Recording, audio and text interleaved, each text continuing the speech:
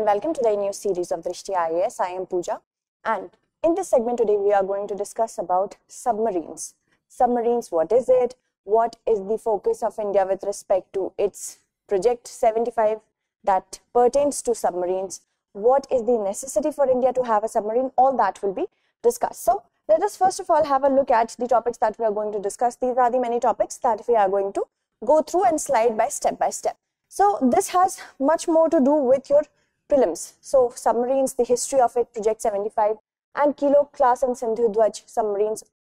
Apart from these submarines, this submarine Kilo class, other submarines will also be looked at. And if we talk about the news, the state of India's submarine fleet after the decommissioning of the INS Sindhudhwaj, because it was in the service of India since the last 35 years. Now it has been decommissioned. What respect with respect to submarines, what remains of the submarine fleet in India, we will talk about that.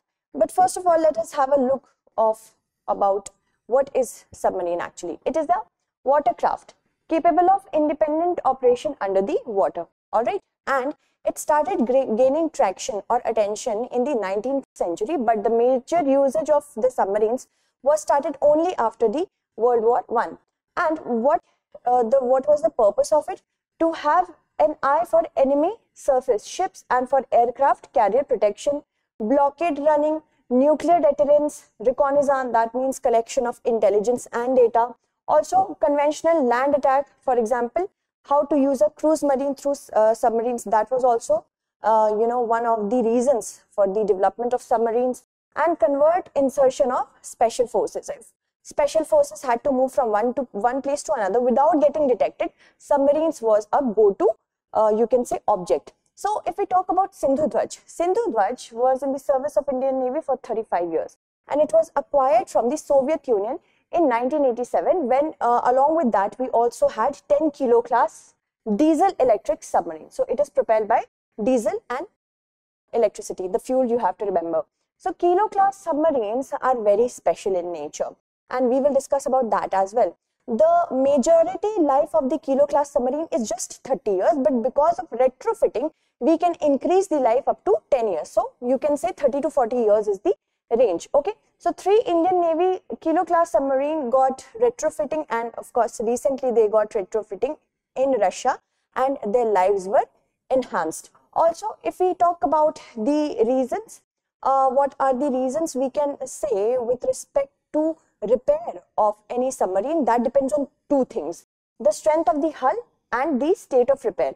If these two priorities are checked, we can give our submarine for retrofitting. So, if we talk about the speciality of Kilo class submarine, the biggest speciality is its silent quality. It is able to remain silent and that is why it is very good for intelligence connection and of course patrolling. So, it's a non-nuclear diesel electric propulsion system and Russia depends a lot on Kilo class submarine. The engine plant is placed away from the hull and because of a rubber-like coating that is done on the engine, it makes the sound to be reduced, okay? And it is a it is an attack submarine. It majorly attacks submarines and destroys surface ship. It also has land attack capability and as I told you, because it is silent in nature, it can patrol the coast of any country very silently and collect data and reconnaissance. That is why Kilo class submarine is very important for India. Now, if we talk about the history of India with respect to submarine, it goes back to December 1967 when INS Kalvari of the Foxtrot class was acquired from the USSR, erstwhile USSR. And during the 1971 India-Pakistan war, these submarines were used. Now come 19 in, in 1981, before that for a decade, India did not get any new submarine. But in 1981, type 209 submarines were taken from West Germany and this was the Shishumar class. Okay. And then India got eight submarines from the USSR, two from Germany after that in 1986, between 1986 to 1992. And in 1992 and 1994, two German submarines which had been built in India were also commissioned. So India started expanding its basket of getting submarines and India bought two kilo class submarine from Russia in 1999 and 2000. With respect to that only, if we have to look through what are the submarines that are available in India, the Arihant is a class of Indian nuclear powered ballistic missile submarine. Okay, so it is nuclear powered, remember that, INS Arihant, ballistic missile submarine, and it is classified as a strategic strike nuclear submarine. Now, if a prelims question can be based on it, which class of submarine is defined as the strategic strike nuclear submarine? It will be the Arihant class. Okay, and July 26, 2009, INS Arihant, which is SSBN 80. Okay, S2 strategic strike nuclear submarine. This has been designated as it is the lead ship of India's Arihant class submarine. So remember this as well. This point is a prelims point. You can take a screenshot. Let's move on. Now, if we talk about the next class, it's the Kalvari class. It is the first of the six Scorpene class submarine. Okay. And it uh, first of the six Scorpene class submarine as in it was the first to be ever built under Project 75 in 2017. Moving on, the next is the Sindhu Ghosh class. Now, Kilo class diesel electric submarine these are and it is designated as 877 EKM. Remember that this could be a prelim fact for you. Moving on, if we talk about the other one, that is the Shishumar class and this is also a diesel electric submarine. It has been acquired from German yard. Okay, so remember the name as well, although the name won't be asked, it's so difficult for us Indians to pronounce. Now, the current status is that we have 16 submarines in service. One is nuclear power, and uh, that is ballistic missile of course and there are 7 kilo class submarine. Apart from the 7 kilo class we also have 4 Shishumar class submarine okay of German origin and it is named INS Shishumar, Shankush, Shalki and Shankul okay.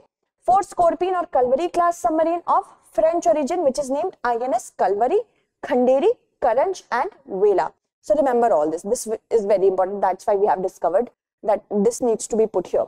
Two more Scorpene class submarines, they are expected to be commissioned into service by the year 2023. Now comes the next part that is the Project 75.